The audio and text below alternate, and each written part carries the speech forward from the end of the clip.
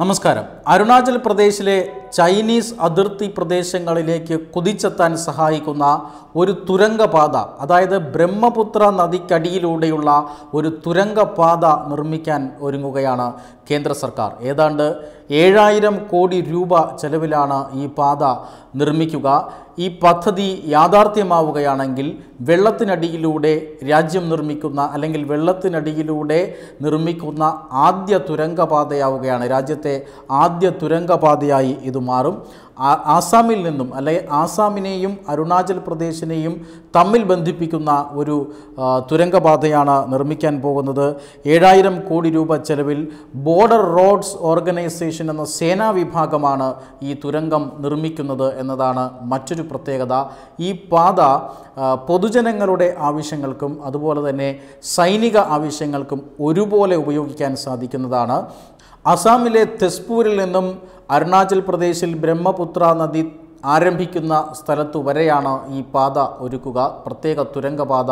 ഈ പാതയ്ക്ക് മൂന്ന് വരികളുണ്ടാകും. ഒന്ന് സാധാരണ റോഡായിരിക്കും. രണ്ടാമത് റെയിൽ പാത. മൂന്നാമതൊരു ഇടനാഴിയുണ്ട്. അത് അത്യാവശ്യ ആവശ്യങ്ങൾ അടിയന്തര ആവശ്യങ്ങൾക്കായി ഉപയോഗിക്കാവുന്ന ഒരു പാത എന്നിങ്ങനെ മൂന്ന് വരികളാണ് ഈ തുരങ്കപാതയ്ക്ക് ഉണ്ടാവുക ഈ മൂന്ന് വരികളെയും പല ഘട്ടങ്ങളിലായി പരസ്പരം ബന്ധിപ്പിക്കുന്ന ഇടനാഴികളുമുണ്ട്. എത്രയും വേഗം അതായത് വളരെ വേഗത്തിൽ പ്രശ്നങ്ങളുണ്ടായാൽ ചൈനീസ് അതിർത്തിയിലേക്ക് സൈന്യത്തെയും അതുപോലെ തന്നെ മറ്റ് സാധന സാമഗ്രികളുടെ നീക്കത്തെയും സഹായിക്കുന്ന രീതിയിലാണ് ഈ പാത വിഭാവനം ചെയ്തിട്ടുള്ളത്. പ്രധാനമന്ത്രി നരേന്ദ്രമോദിയുടെ പ്രത്യേക താല്പര്യമെടുത്താണ് ഈ പാത നിർമ്മിക്കുന്നത്.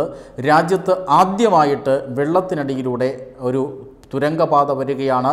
ബ്രഹ്മപുത്ര നദിക്ക് അടിയിലൂടെയാണ് ഈ പാത ഉണ്ടാകുന്നത് എന്നുള്ളതാണ് ഏറ്റവും വലിയ പ്രത്യേകത. സൈനിക സൈനികേതര ആവശ്യങ്ങൾക്ക് ഈ പാത ഉപയോഗിക്കപ്പെടും. അതുകൂടാതെ ബ്രഹ്മപുത്ര നദിയുടെ ഏതാണ്ട് ഇരുപത് മുപ്പതടി താഴ്ച വരെ ഈ താഴ്ചയിലായിരിക്കും ഈ പാത കടന്നു പോവുക അടിസ്ഥാന സൗകര്യ വികസനം പ്രത്യേകിച്ചും അതിർത്തി മേഖലകളിലെ അടിസ്ഥാന സൗകര്യ വികസനത്തിന് കേന്ദ്ര സർക്കാർ നൽകുന്ന അടിയന്തര പ്രാധാന്യത്തിന്റെ മകുടോദാഹരണമാണ് ഈ പദ്ധതി. പി എം ഗതിശക്തി പദ്ധതിയിൽ ഉൾപ്പെടെ ഉൾപ്പെടുത്താനുള്ള സാധ്യതയുണ്ട്. എത്രയും വേഗം ഈ പദ്ധതി പൂർത്തിയാക്കാനാണ് കേന്ദ്ര സർക്കാർ നൽകിയിരിക്കുന്ന നിർദ്ദേശം. വെബ് ഡെസ്ക് തത്തുമയ്യ ന്യൂസ്.